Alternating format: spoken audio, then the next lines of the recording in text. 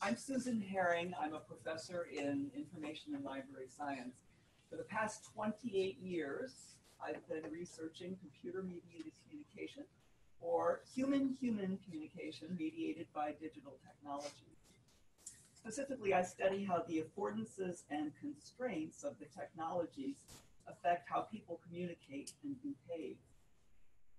Of course, as digital communication technologies have evolved over the years, CMC has also changed. For example, technological developments such as increasing bandwidth, convergence of CMC modes into a single platform, new mediating technologies such as robots, and advances in artificial intelligence have given rise to new CMC phenomena. Currently, my collaborators and I are researching three emergent phenomena that I'm going to review briefly today. What I call interactive multimodal platforms, graphics mediated CMC, robot mediated communication, and in the fall we'll start a project on smart speaker mediated communication. Interactive multimodal platforms, or IMPs, are digital platforms that support a convergence of channels or modes, text plus audio, video, and or images for user-to-user communication. And you can see many examples here on the slide, some of which might be familiar to you.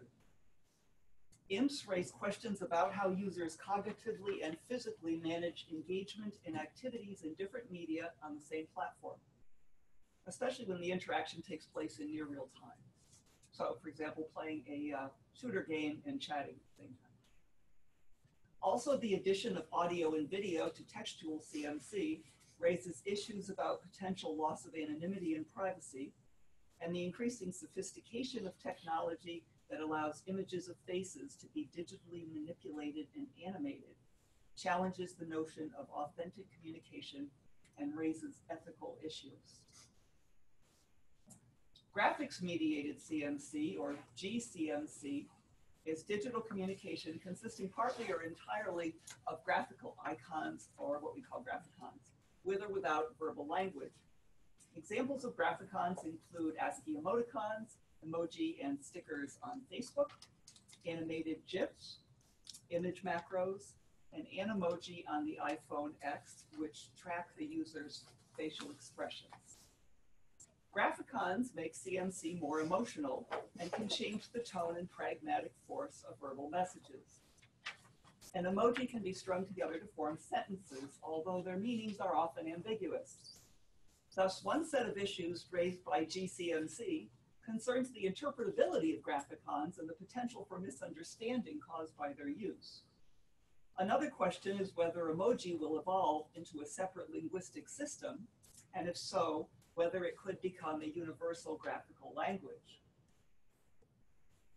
The third emergent phenomenon is telepresence robot mediated communication, or RMC. This is human human communication in which at least one party is telepresent via and remotely piloting a robot.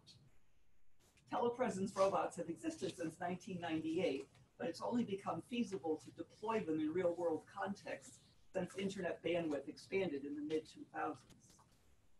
In addition to connecting people socially, that's me in the middle uh, at, a, at a social event in the robot, telepresence robots are being used for remote presentations, conference attendance, and in educational and healthcare settings. Now, when it works well, RMC is more casual and sociable than video conferencing. However, communicating through a mobile robotic form raises a number of issues. For example, RMC affects uh, social interaction requiring a renegotiation of social and interactional norms. RMC has mostly been studied in experimental studies, settings, but we're currently negotiating with the Marine Biology Center in Santa Cruz, California to record visitors interacting naturalistically with telerobotic staff around aquarium exhibits. Finally, smart speaker mediated communication is when people use smart speakers such as the Amazon Echo, Google Home, or Apple HomePod to call or leave messages for other people.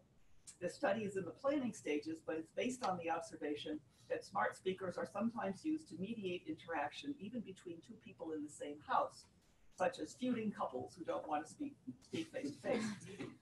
Given the increasing ubiquity of these devices and their integration of artificial intelligence, it's critical to understand their effects on human communication.